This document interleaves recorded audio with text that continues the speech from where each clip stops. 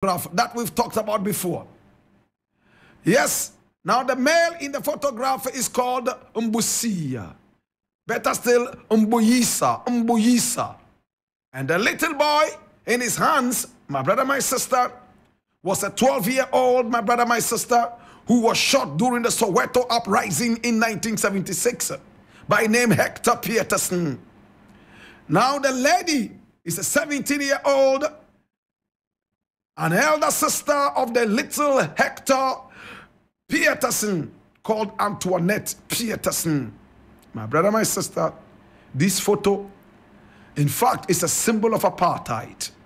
One of the symbols of atrocities right from the days of apartheid.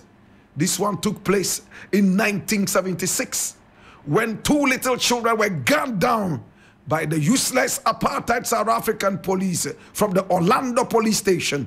They shot and killed a 12 year old and a 15 year old called Hastings.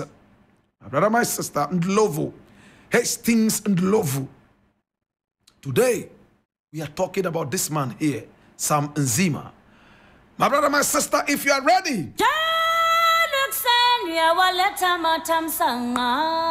Sam Nzima Yabo! Yabo! was born on the 8th day of August in 1934. 40 solid years before Kwame, before Blakk Rasta was born. 40 solid years before Blakk Rasta was born. 30 solid years before Lucky Dube was born. He was born on the 8th day of August in 1934.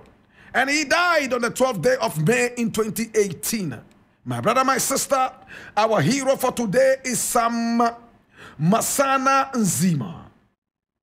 He was born in the town of Lilydale in the Transvaal province of Mpumalanga. Repeat after me Mpumalanga. Mpumalanga.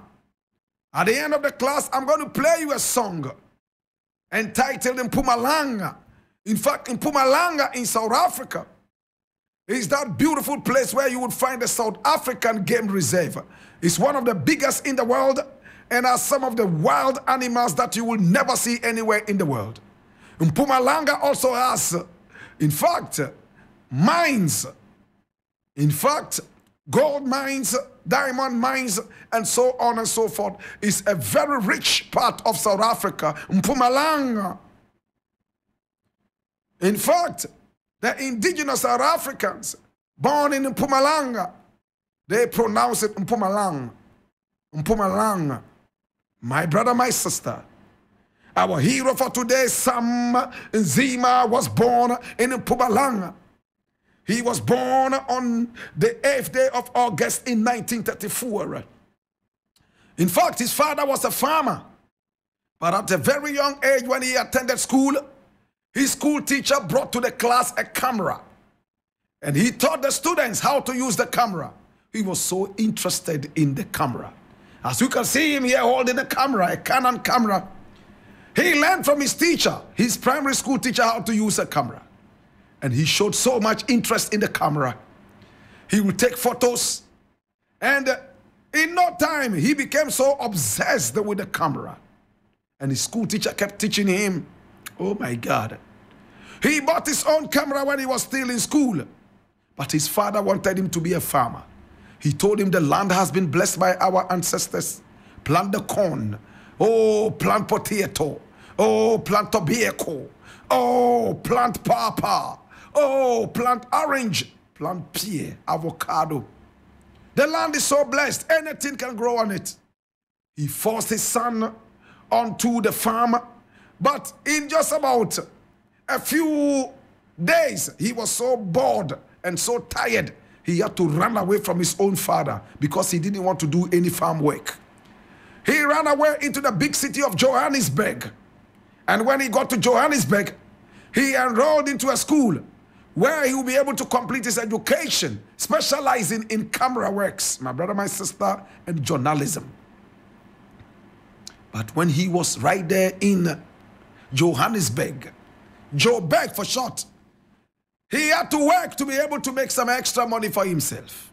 And he worked as a garden boy for a white man. Oh my God. He made some money from there.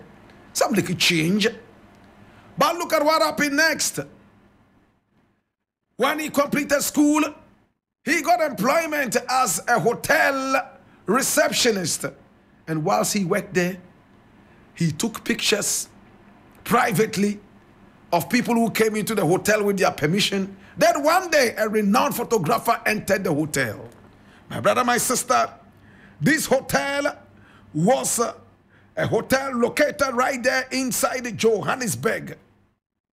And it was a hotel that was quite popular in the area. My brother, my sister, it was a hotel that so many people came to because it was a decent one, a hotel that had no history of uh, negativity. This was where he worked. What was the name of the hotel? It was called Savoy Hotel, S A V O Y Hotel, Savoy Hotel. That was where he worked.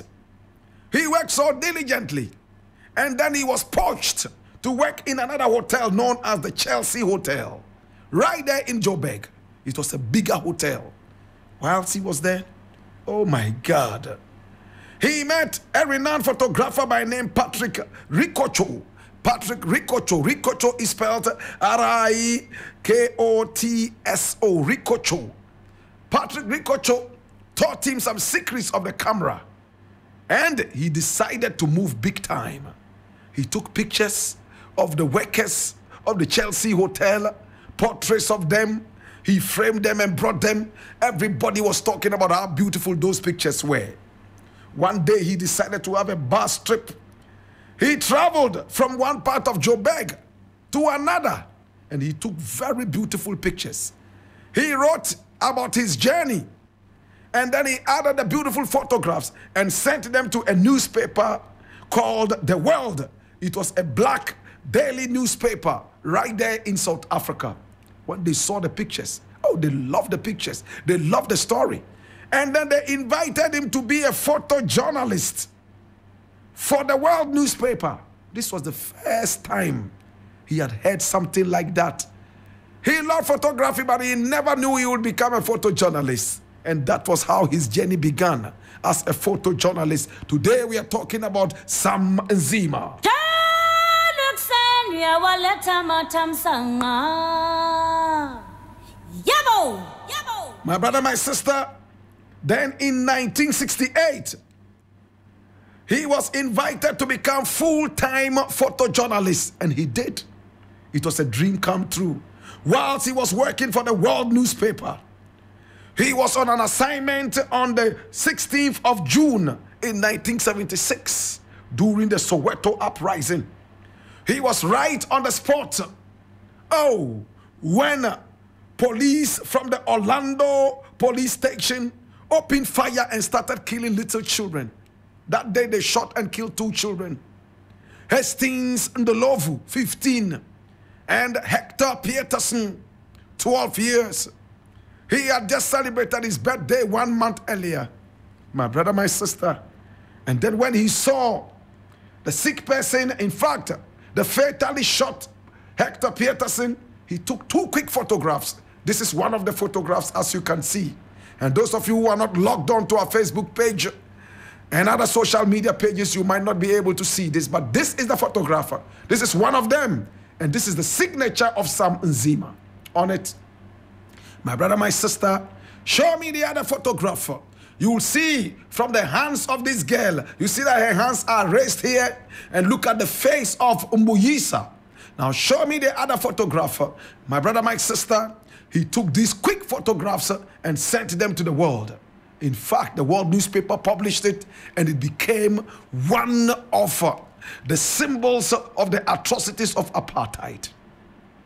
The police explained that the 15 year old was inciting the people to throw stones and fight the police. That was why they shot him.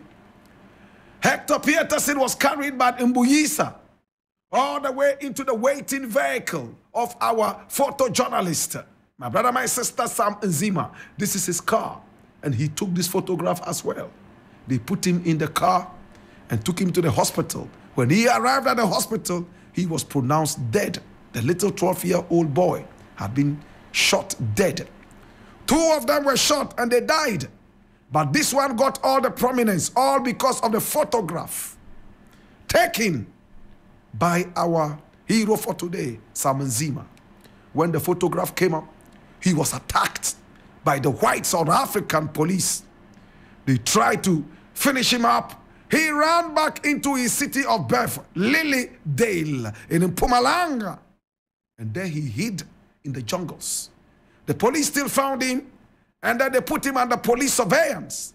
He stayed there until he died. My brother, my sister, he never ever left. In fact, he went into businesses. He even opened up the Nzima liquor store, as you can see here, where he sold liquor to many people. He also opened up a school, the Nzima School of Photography, my brother, my sister, where he taught photography to little children and also some other such people, teaching them all the tricks of the camera. My brother, my sister. For years, he fought to get the copyright of the legendary photograph he took of Hector Pieterson and his sister Antoinette Pieterson, and of course, the man carrying the little 12 year old to the hospital by name Mbuyisa. He hid, but whilst he was in, in hiding, he was approached by powerful newspapers around the world to come and work with them as photojournalists. He refused for fear that the apartheid police might hunt him down and kill him. Today, my brother, my sister, this is the story of Sam Masana Nzima. Today, we have the privilege to tell you the story of the story of stories. From this story, there's another story and yet another story. The story of Sam Nzima is one. Now the story of Hector Pieterson is another. And then Hastings Ndlovu. My brother, my sister, he was recognized in South Africa by several presidents, from Mandela all the way down to, oh my God, have mercy, Jacob Zuma. As you can see in this photograph, he became a hero. One of those who helped to bring the gory images of apartheid to the world. He fell ill and died on the 12th day of May in 2018. Today we remember you. He gained the copyright for his uh, photographs before he died, having suffered and struggled for several years. The original newspaper known as The World was finally sold to the independent group. Time magazine regards Nzima's famous image as one of the hundred influential images of all time. He was buried here, my brother, my sister, and you can see his grave and also the photograph that he took. And on the grave, you can read, The legend has fallen, the hero has fallen, but the legacy lives on. You brought hope into the world. May your soul rest in power. This is the photograph of uh, ah, a very beautiful man's grave, his tomb. This is the grave of Sam Nzima. Today, my brother, my sister, with tears in our eyes. Papa, Papa, why be what? Papa, dem refadue. Papa, uni nyaminko. Yeah, Papa, uni nyaminko. yeah, Papa. Missy Minibeko. Papa Minibeko Wante. Yeah, Papa. Papa, bye bye. Papa uri nyaminko wate. Papa uri nyaminko. Papa uri nyaminko. Papa uri nyaminko. Papa Missy Minibeko. Yeah, Papa. Yeah, Papa.